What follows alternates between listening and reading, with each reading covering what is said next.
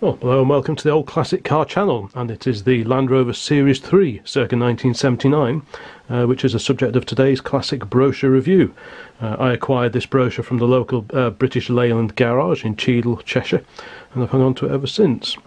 On the cover, we have an example of the 109, so the pickup version, and two 88 inch versions. Now, obviously, the Land Rover continued in the uh, spirit of the earlier cars, which uh, were introduced in 1948. The Series 3 came along in 1971 and continued in production until 1985. Like I say, this is a mid-series uh, brochure from 1979. Uh, in total, about 440,000 were built, split between the 88-inch short wheelbase and the 109 long wheelbase. Now, compared to the Series 2 and the Series 2A that came before, there were a few visual clues that this was the later version. The grille was now plastic instead of metal, and the headlamps had moved out to the front wings rather than being tucked next to the grille. Those are the biggest visual differences between the Series 3 and the earlier Series 2 and 2A Land Rovers. So let's have a quick look inside and see what BL had to say about the Series 3. If we have a look over here first. We've got an illustration of a Land Rover in a rugged environment. Today's Land Rovers are stronger, safer and more reliable than ever before. Mm. There's a choice of short or long chassis versions, petrol or diesel power and a range of different body styles, optional equipment and a comprehensive selection of Land Rover approved special appliances and bodies by specialist manufacturers. For year in year out operation on all types of terrain, in adverse weathers and climates, the four-wheel drive Land Rover is still the world's most versatile vehicle. And we have MOG 651S, one of several MOG registered Land Rovers that feature in this brochure. That was a Birmingham registration series, which makes sense given that uh, Land Rover based over in Solihull. So this folds out and we have a diagram of all the different body styles. Um, I've got 17 described here got uh, canvas covered, fixed covers, uh, hard top with tailboard and top hinged flap. All manner of different versions, some of which will look familiar, I'm sure. We've got the 10 seater station wagon and the 12 seater version, a 7 seater station wagon. Chassis with wings, dash, and seat base, so you could buy them with just the front end and then be bodied depending on what you needed it for. So we've got quite a variety. It was certainly a very flexible vehicle on that separate chassis uh, it's just a shame that the chassis used to rust away so badly, at least in later years, if not straight away. And uh, it's probably the chassis is probably the biggest weak spot of any of the classic Land Rovers. Uh, chassis obviously is underneath here. The body was mainly in aluminium, but the bulkhead here was steel. And uh, if you look at any tired Land Rovers now, if they've not snapped in half, they'll be rotting where the door hinges are and below the windscreen that's where you have to check them out. So here we have the short wheelbase version. Let's have a look see what it says. The 88 inch wheelbase four-wheel drive short Land Rover. Is the go anywhere do anything workhorse of the range. And is a high mobility vehicle under any circumstances. In basic trim it is provided with a weatherproof canvas hood and glass door windows. And when required the canvas cover can be rolled up or removed altogether to provide a completely open and compact vehicle and the rear tailgate, which is normally checked by chains, can be dropped right down for easier loading. The rear body space will take all kinds of awkward and heavy loads and its non-rusting, corrosion-resistant aluminium alloy construction permits the carriage of manures, fertilizers and similar corrosive substances. Among many body options are included a truck cab, giving excellent all-round visibility, and a detachable full-length hardtop. So certainly a very practical little vehicle. And over here we have another example, climbing a rugged quarry pass by the look of it. All looking very nice. Land Rover 88 with its canvas top. Let's carry on through here. See now we have the long wheelbase Land Rover version, which I think I think these actually look quite quite nice. I quite happily run one of these. Um, of greater carrying capacity than the short Land Rover, the 109 inch wheelbase long Land Rover still retains the same exceptional mobility and do anything, go anywhere characteristics. In standard form, this vehicle has a snug truck cab, giving outstanding all-round vision and an open rear body. Various types of body coverings are available, and rear body space is generous and suitable for an endless variety of loads.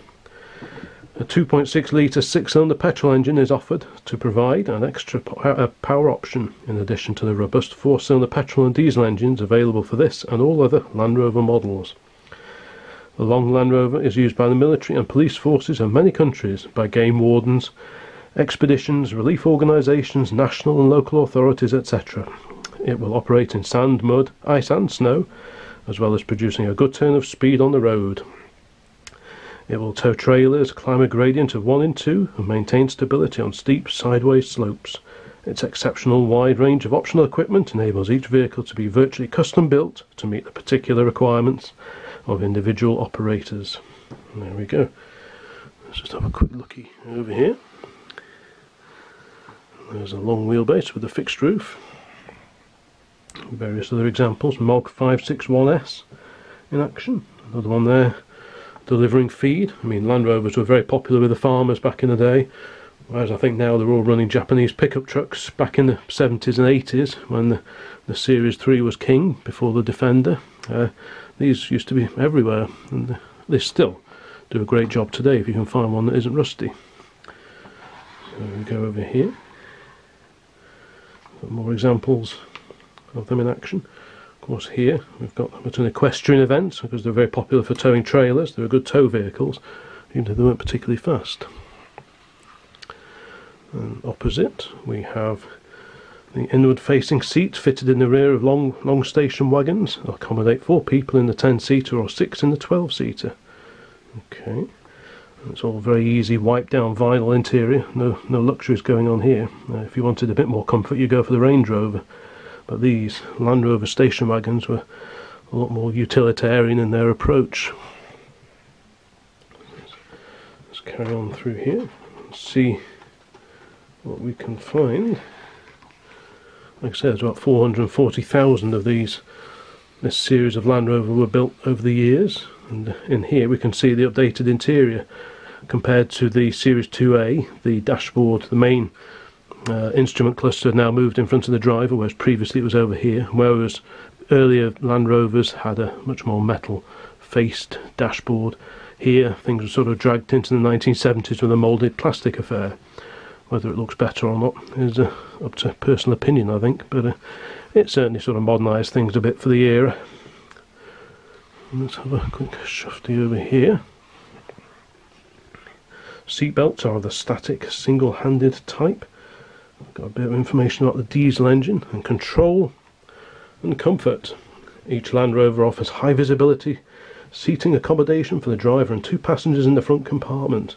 Seat squabs and cushions are removable for cleaning and for access to the toolbox beneath the outer passenger seat. Long Land Rovers have an adjustable driver's seat. Deluxe seats, additional interior trim and other cab refinements are optional extras.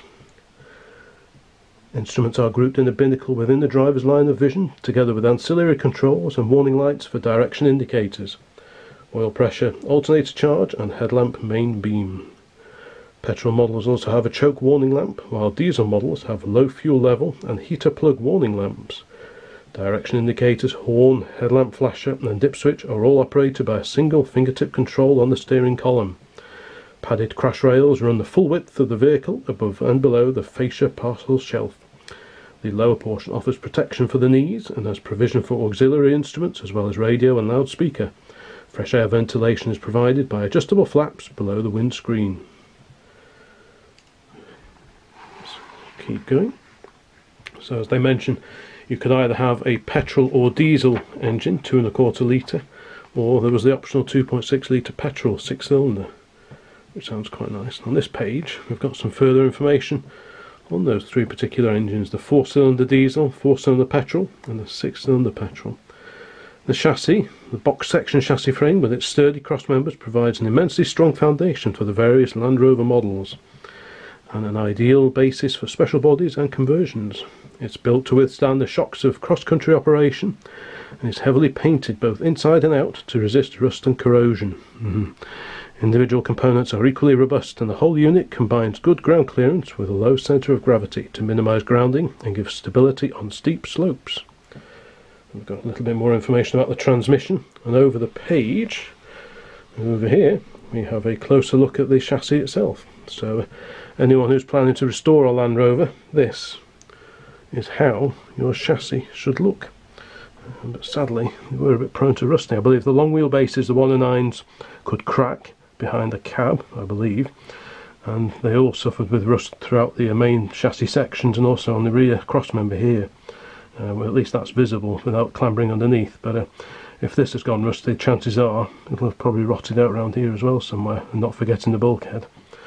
So, uh, great vehicles, but they do need a bit of looking after. We've got some details on special accessories and equipment over here, uh, such as the alternator, a split charge facility, different types of cabs, detachable hardtops, uh, all sorts of uh, exciting gizmos. So I'll zoom in on those so you can have a proper look. We've got the power takeoff, and some extra goodies over here, such as a front winch. Uh, what else have we got? Centre and rear power takeoff units, lamp guards, spare wheel carrier, jerry cans and brackets, all manner of uh, goodies to tailor your Land Rover for the off-roading experience. We have several more photographs of Land Rover Go Anywhere type activities, driving through a river for example. And then over here we have Land Rover Special Conversions. The cross-country performance capabilities of the Land Rover, its load carrying capacity and availability in chassis form all contribute to the demand for this vehicle as the basis for special conversions and for the fitting of specialist applications appliances. We show just a few examples here. Left, police, fire and ambulance service vehicles. Above, a hydraulic platform. Right, a self-contained safari type motor caravan. That looks great, I quite fancy one of those. And a snow blade and a crop or verge sprayer. So as Land Rover were keen to point out, these were very flexible vehicles and could be put to all manner of different uses, which is one of the reasons they survived in production for so long. And finally, we have the specifications, again for the three different engine options, all the transmission details, weights, payloads, uh, dimensions will be over the page, there we go, dimensions for the 88 and the 109 and if anyone needs any of these specification details I'll have a quick zoom in just to sort of show them a little bit more clearly. And finally, the rear cover of this particular brochure which advises that BL Cars Limited is constantly seeking ways to improve the specification design and production of its vehicles alterations take place continually.